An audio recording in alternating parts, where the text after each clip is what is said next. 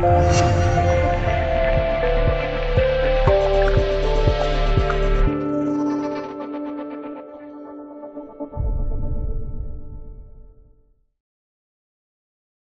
上都说土豪的世界我们不懂，对于有钱人来说，日子奢靡，一顿饭或者随便出行一次就是成百上千万的。我们国内的土豪们还是比较内敛的，比较中国人大多都奉行低调行事，而国外的一些土豪们就比较高调了。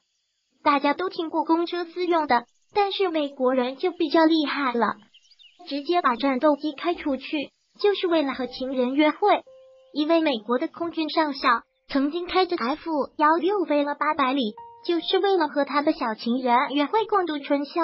后来被人发现了。迫于舆论的压力，自己辞官了。当然了，还是美国人会玩。还有一位土豪是著名的甲骨文公司的创始人，在九十年代的时候，花了六百多万美元，在东欧国家买了一架米格二十九战斗机，在那个时候也是非常有钱了。过海关差点把美国海关吓死，毕竟米格二十九在那时候可是非常厉害的一架战斗机。后来把上面的火力装置撤除后，注册成功了。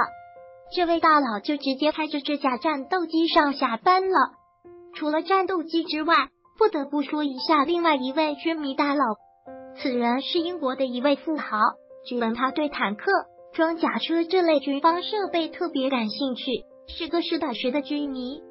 经过多年收藏，购买了一百二十多辆军方退休的坦克或者装甲车。经过改装，开着坦克大摇大摆的上马路了。经常开着坦克去接他的两个儿子上下学。不得不感慨，国外的政策真是奇葩。